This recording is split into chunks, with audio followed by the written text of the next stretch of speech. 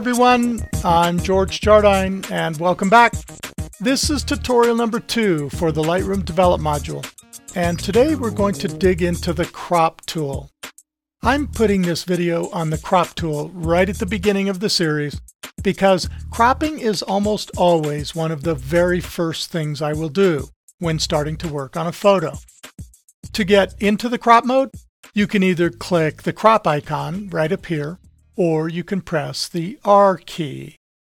I got into the habit of using the R key because no matter what module you're in, the R key always takes you to the develop module and puts you into crop mode. The R key also toggles you in and out of crop mode, like this, which is nice because cropping truly is a mode in Lightroom. It's completely non-destructive so you can toggle back and forth and tweak a crop as many times as you like, all without having to worry about when to save and without the fear of doing something that you can't undo. Anyway, let's start with this photo of the stairway. And you can see that I already do have a crop on this photo. When the crop tool is active, then you see all the settings right here below it. And one of those settings is the reset button, which can be handy. Want to start over with a crop? Just click here, like this. So this is what things will usually look like when you first go into crop mode. You'll notice that the crop mode has an overlay that might be helpful, which is this grid or whatever. There are a bunch of them, and once you're in crop mode, simply pressing the O key cycles you through the various overlays.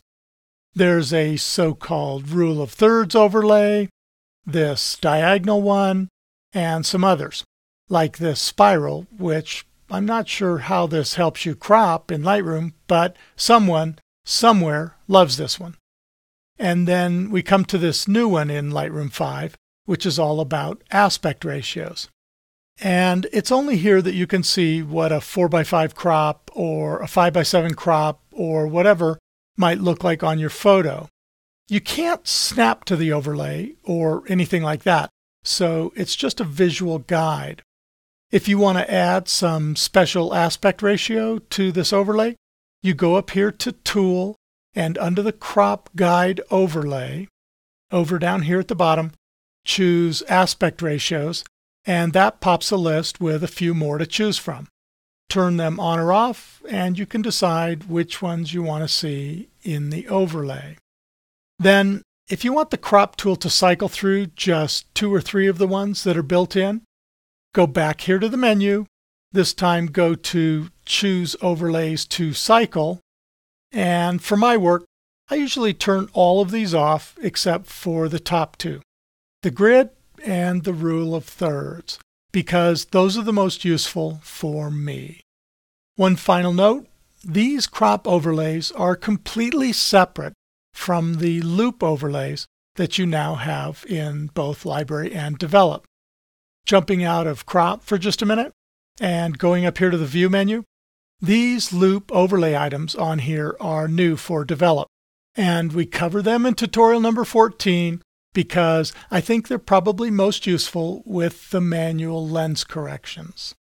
Anyway, the loupe overlays simply disappear when you go into the crop mode, so they really aren't relevant in this tutorial. For the crop mode, this aspect ratio overlay is different and also new for Lightroom 5. And unfortunately, as I said, you can't snap to it. I'm not sure how that would work anyway, but if you do want to be constrained to some special aspect ratio, there's a menu for that over here, and that's next. When you first get into crop mode and roll your mouse out over one of these controls and click and start dragging things around, you'll usually find that you're stuck in this mode that constrains the aspect ratio. If you're dragging from a corner, that looks like this, with the opposite corner staying where it is and if you're dragging from a center point, like this, then Lightroom will scale the width of the crop and keep the original aspect ratio. It works this way because the default for this little lock icon over here is to be locked, which locks the aspect ratio of the crop to that of the original image. If I click that lock to unlock it and then go back and try again, you'll see that I can now make the crop any shape that I want from any one of these control points, from a corner or from the middle.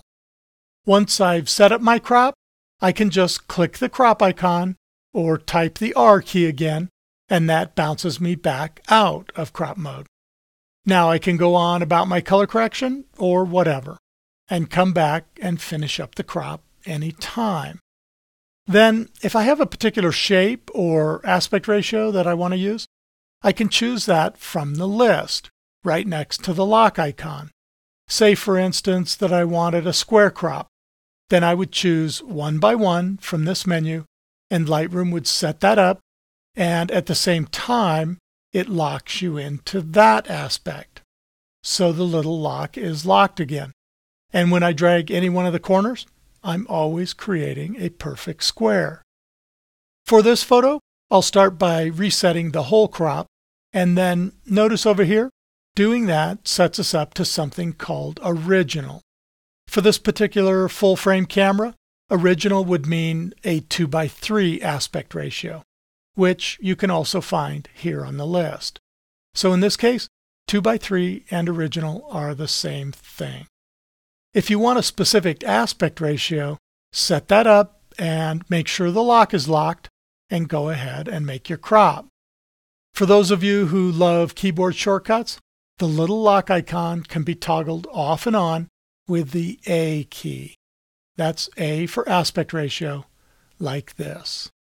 For this photo, I like to crop in from the right side down to about here, and then I can click inside the crop and drag if I need to move things around. For this photo, I want to make sure I get things centered up nicely and I'm done. If I need to rotate my crop at all, I'll just roll my mouse over here anywhere outside of the crop. And when I'm out here, you get this little curved double-headed arrow icon. That tells me that I can click and drag to rotate anywhere out here, like this. So for this crop, dragging up to about minus one and a half degrees looks pretty good. In Lightroom, when you click and drag inside the crop, you are moving the photo around under the crop to get it positioned exactly where you want.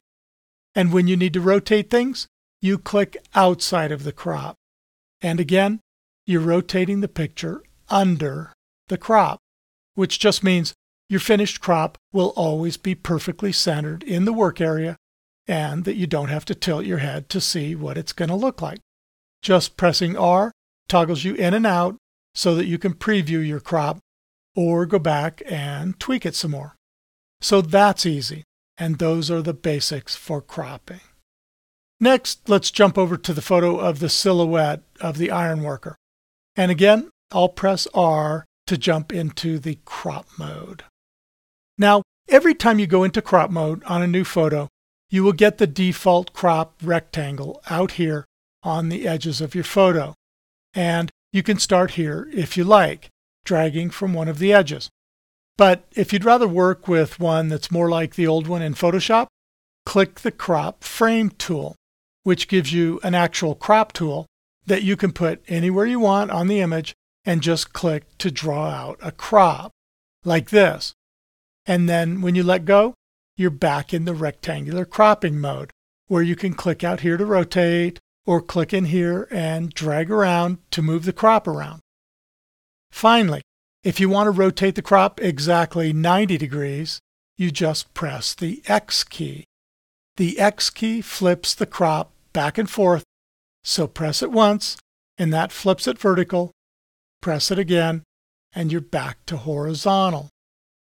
Or if your aspect ratio is locked, you can just grab a corner and sort of pull it to one side, and that will flip the orientation too, like this.